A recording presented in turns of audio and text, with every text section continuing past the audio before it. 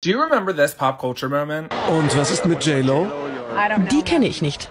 When asked about J-Lo, Mariah simply stated, I don't know her. Und was ist mit J-Lo? Die kenne ich nicht. Oops. For years following, Mariah and J-Lo go back and forth in interviews, subtly shading each other but denying a feud.